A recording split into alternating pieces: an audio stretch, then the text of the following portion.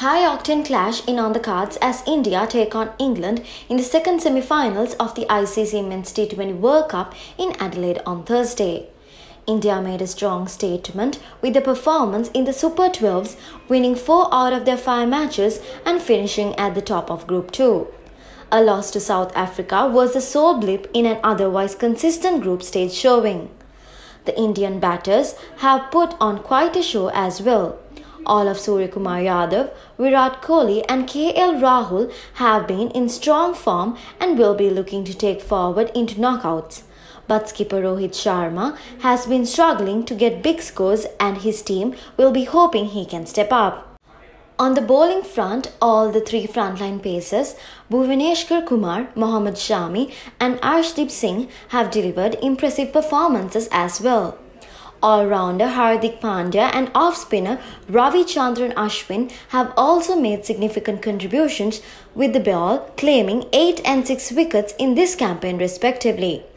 Only Axar Patel's bowling returns have been a matter of concern with the spinner possessing an economy rate of more than 9 so far. It remains to be seen if India opt to play Yuzvendra Chahal, an additional spin option target to England's middle order. England bounced back well after losing to Ireland in the Super 12s.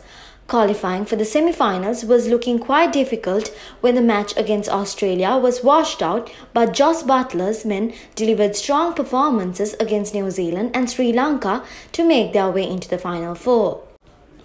The main strength of this English side is their batting, which runs right down to number 10.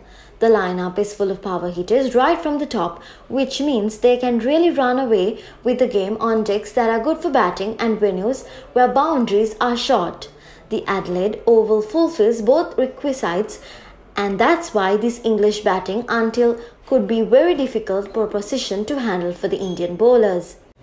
England's bowling unit, which wasn't rated that highly ahead of the tournament, has stepped up as well. Sam Curran has been a revelation with the ball, particularly in the death. The left armer is England's highest wicket taker in the tournament while going at an economy rate of 6.40. Mark Wood has been relentless with his express pace as well, whereas Ben Stokes has also done a great job to pick up 5 wickets while going at 5.9.0 runs per over. The only concerns around Chris Woakes and the performance of spinners Woakes has been expensive and hasn't been offering that much wicket taking threat, threat front with the new ball. And while Adil Rashid has been quite economical, he has picked up just one wicket in four matches. England are going into the clash with a couple of injury concerns. David Malan tweaked his left groin in the last match against Sri Lanka, while Mark Wood has pulled up a stiffness as well but both are trying their best to prove their fitness ahead of the clash. If they aren't available, Phil Salt and Chris Jordan are expected to replace them in the lineup.